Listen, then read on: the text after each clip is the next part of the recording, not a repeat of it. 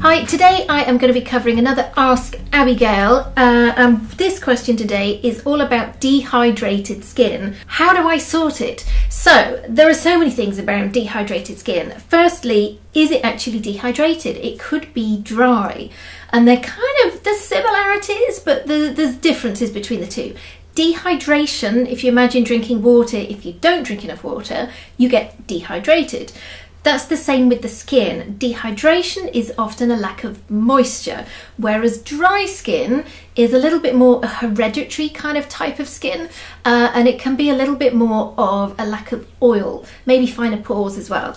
Um, but all skin types can be dehydrated at some point. So uh, when I was asked about how do I treat my dehydrated skin, I'm going to kind of cover both options as a little bit of a, of a together because uh, I'm never fully sure exactly what someone's experiencing. So, firstly, I think the key thing that you automatically grab for is uh, a thicker cream. You know, it might be that you're feeling your skin's a bit tight, a bit itchy, a bit uncomfortable, maybe a little bit flaky, and grabbing for that richer cream, you feel like you need that comfort blanket on the skin isn't necessarily going to be doing you any favours. So I'm going to kind of go through a few tips that I think are, are much better placed and will actually give you some results rather than grabbing for the thick moisturiser and, and you still kind of going, help, it's not working. So firstly, you still need to be cleansing in the morning. Whether it's a cream cleanser or an oil, uh, or even a gentle wash. And I know on a dry or dehydrated skin that might sound a little bit, I don't want that, that kind of wash texture on the skin.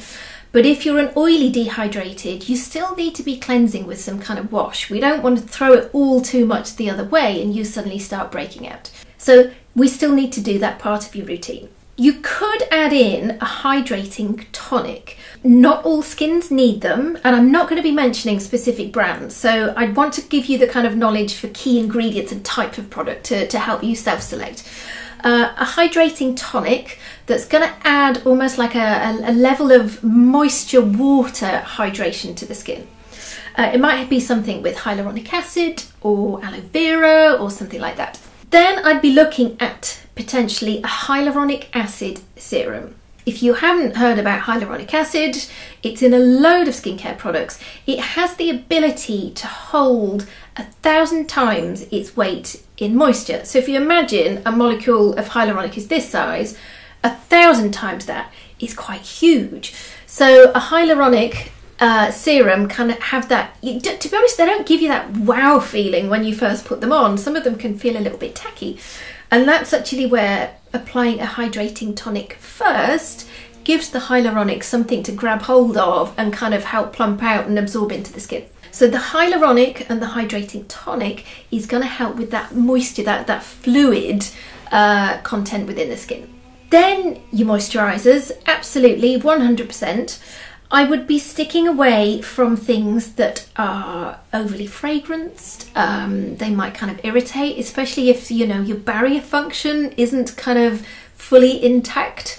Um, I'm going to come back to barrier function in a moment. But yeah, something that's nourishing and suitable for your skin. So if you're an oily dehydrated, don't grab the heavy, it needs to be a light texture as well. Then obviously your, your SPF in the evenings or maybe uh, once a week, twice a week, dependent on what your skin can take.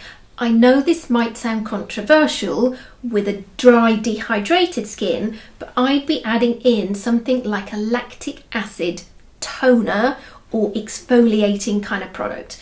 A lactic molecule will exfoliate, but it also has the ability to, to boost your own moisture levels within the skin. So it's going to brighten, get rid of some of maybe the dry, dead skin cells, boost your moisture inside, so then your hydrating serums that you're going to put on top are going to be able to work more efficiently as well. So those are probably a few key things with your home care instead of grabbing for the rich product uh, that you might find helpful. In the evening, this is going to sound very controversial because a lot of skincare ranges that we've all been brought up with, they all have heavy night creams. I don't like heavy night creams. I don't think they're needed. I haven't personally used it on, my skin or advised any of my clients to use a heavy night cream for years and years.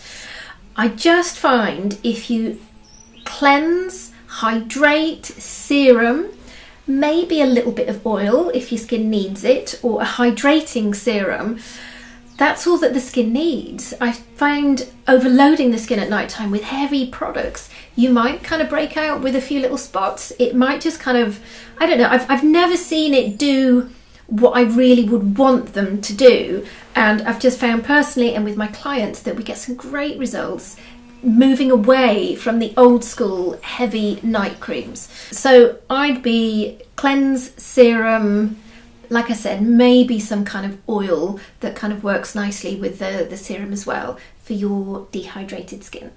You might once a week want to do a mask or not. That's totally up to you. The other thing is the internal side of it. I'd be avoiding your sugary drinks, your your caffeines and all of those kind of things. They're not going to be doing you any favors anyway. But if you're really kind of experiencing and suffering from a dry skin, I'd be upping your oil content and fluid content within your diet. So your caffeines and things like that, and that's including black tea, is is a diuretic. So you might be thinking, know, I'm only having one coffee, or I'm only having two cups of black tea. Uh, actually, they're they're kind of you know almost sapping your uh, your body from from water. Your herbal teas are great, you know, obviously water, that kind of thing, to help hold fluid inside the body. Supplements, you can take hyaluronic as a supplement. Uh, it's actually one of the skincare ingredients that I do quite like as a, as a, a take supplement. And things like flaxseed, omega oils, the fish oils, um, upping your, your nuts and your seeds. So it's kind of giving the skin cells the, the, the building blocks and the nourishment and the hydration that, that they need from the inside. Another interesting supplement and skin ingredient are ceramides. So ceramides unlike an oil, if you imagine you've got skin cells and they're all built up like a like a wall, they're kind of like the bricks in the wall. Ceramides can hydrate the spaces, the glue in between the cells. So A, it's going to make the skin more comfortable. B, it's going to kind of plump out and hydrate, but it all just kind of keeps stuff together better. Uh, so that's another ingredient you might be kind of interested in having a look at as well. Okay, so uh, barrier function when it comes to dry dehydrated skin is essential. Our barrier function, it's kind of part of our defense system with the skin. Um, we need to be giving it the right cleansing, not overstripping, the right hydration to help kind of keep our, our, our skin cells nicely comfortable and building up the, those blocks. A way of kind of supporting that might actually be introducing some topical probiotics. The surface of our skin is it's it's not kind of like a dead surface. We uh, you know kind of new technology they've found that um, the, there's healthy bacteria. There can be bad bacteria, obviously, uh, but it's kind of like like a nice balance of healthy bacteria. And this isn't just now actually the skin on our face. This is our whole body as well. So topical probiotics and prebiotics for supporting that can really support the barrier function.